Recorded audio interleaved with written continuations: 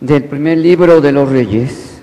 En aquel tiempo, sintiendo que se acercaba el día de su muerte, David hizo estas recomendaciones a su hijo Salomón. Yo ya me voy por el camino de todos los mortales. Ten valor y sé todo un hombre. Cumple los mandamientos del Señor, tu Dios. Camina por sus sendas y observa sus preceptos, órdenes, decretos e instrucciones tal como están escritos en la ley de Moisés. Si haces esto, tendrás éxito en todas tus empresas y el Señor cumplirá la promesa que me hizo al decirme, si tus hijos me son fieles a mí, el Señor, y cumplen sinceramente mi voluntad con todo su corazón y con toda su alma, no te faltará un descendiente en el trono de Israel.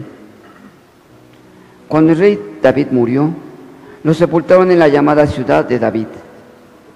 Reinó sobre Israel durante 40 años, siete en Hebrón y 33 en Jerusalén.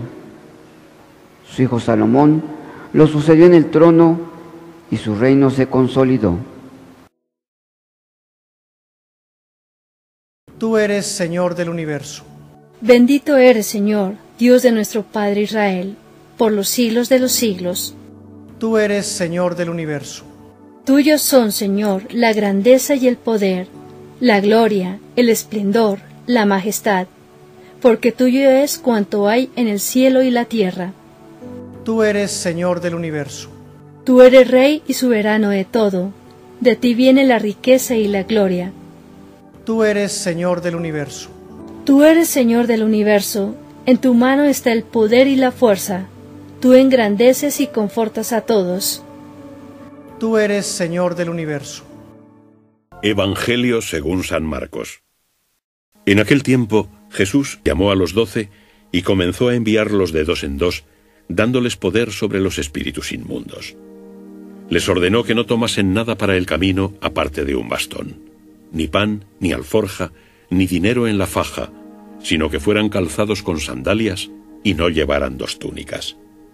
También les decía, Permaneced en la casa en que entréis hasta que salgáis de aquel lugar.